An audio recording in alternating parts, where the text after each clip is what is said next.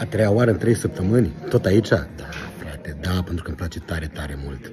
Vorbesc, bineînțeles, despre pensiunea Valea Gepișului. Bine, asta am venit cu un alt motiv, dar trebuie să și popăm. Motivul pentru care am venit astăzi aici.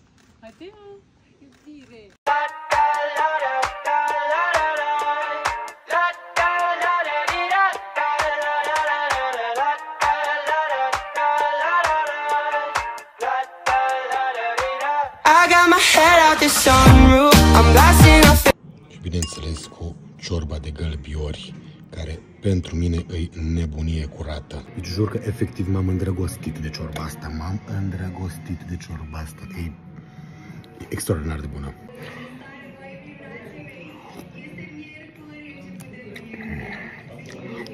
Prețul unei astfel de ciorbe este de 30 de lei. Stai că acum am îmbunătățit-o un pic. Am dat școr de iute. Acum are și chicul ăla de un pic de iute. Are rost, are rost. Am terminat cu ciorba cu care, bineînțeles că nu m-am săturat și dacă data trecută am încercat paste. Prima oară am încercat tocăniță la felul 2, astăzi încercăm pizza. Eu am ales să mă duc pe pizza Valea Gepișului, care e pizza lor reprezentativă, care conține în felul următor, trebuie să citesc din meniu. A luat de pizza cu maia, sos de roșii San Marzano, mozzarella fior di latte, panceta, dovleac crud și piton și cremă de trufe. Și cam așa arată pizza. O nebunie. Să vedem aluatul. Da, e ce trăbă.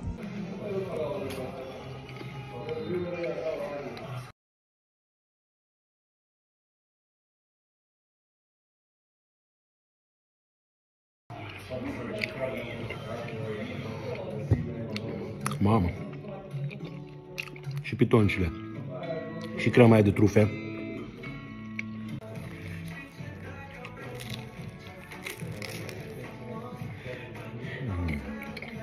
Deci uitați-vă la nebunia asta colorată, cum arată.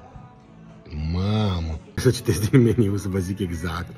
Pizza asta se numește pizza due pomodori și conține aluat de pizza cu maia, mozzarella fior di latte, mix de roșii de Napoli, brânză bufala și busuioc. Câtă culoare!